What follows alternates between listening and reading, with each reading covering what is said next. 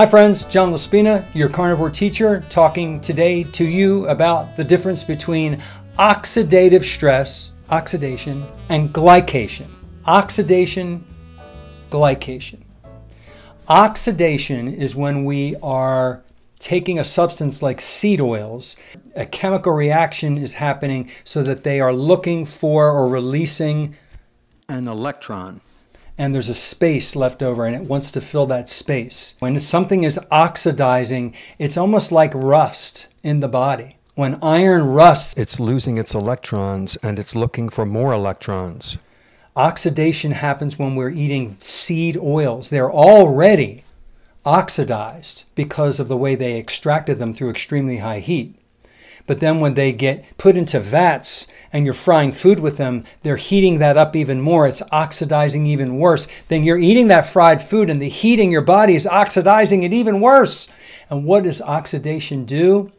Oxidative stress generates inappropriate, that means you're not supposed to have it, inflammation in the body. We get inflammation throughout parts of our body from time to time for a reason, for healthy reasons, to take care of us when we have a little injury or scratch or a rip or a tear or stress. But when we initiate inappropriate inflammation, it, it happens on purpose, it's hurting us. It's, it's causing inflammation where there shouldn't be inflammation. And that's usually in our arterial walls, in our endothelial cells. It's damaging things. It's Basically, oxidation is chronic, excessive, inappropriate inflammation. People get swelled joints, they get arthritic conditions, they get gout conditions. They have all kinds of a headache could be caused by inappropriate inflammation caused by oxidation. So that's oxidation. And foods can oxidize a little bit in our body, different things oxidize, but things that oxidize the most are seed oils. This is why we tell you to stay away from all vegetable seed oils canola, corn, soy, safflower, sunflower, rice bran, Crisco, margarine. Stay away from all foods that contain them in the ingredients. Don't cook with them. Don't eat fried foods unless they're fried in beef tallow. The other thing I talked about was glycation. Glycation is when sugar, glucose, that's where the word glycation, glu, comes from. Glucose is sticky. You've ever spilled any kind of syrup, honey, sugar, soda, juice, fruit juice on the floor and it starts to dry and you try to clean it up, it's all sticky.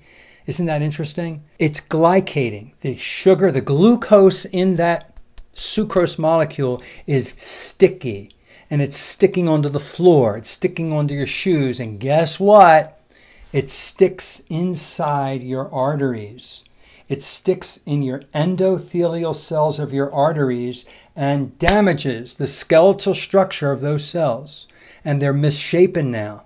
The body sees that, it says, Oh, damage. We're going to go fix that damage and throw a band aid there.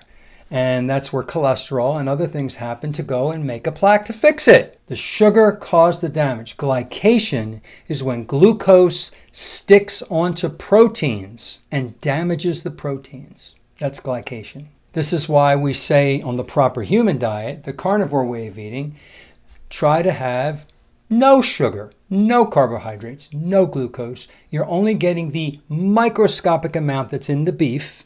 Yes, there is sugar in beef, people, it's called glycogen, just like the glycogen in our muscle meat.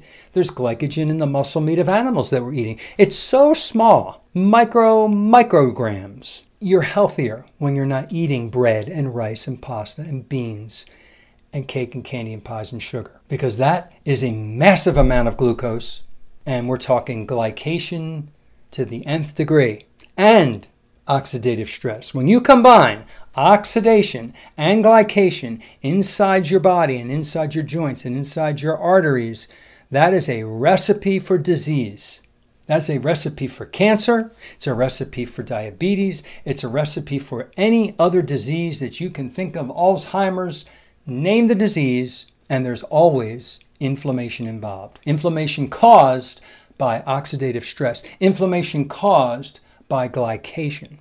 Minimize the glycation and oxidation through a carnivore way of eating, and you minimize the possibility of acquiring all those diseases and maximizing your amazing health benefits and you feel great. Ladies and gentlemen, if you like my content, click the thumbs up.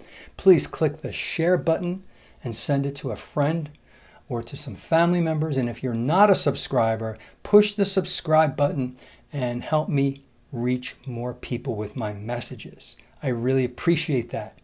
Have a wonderful day.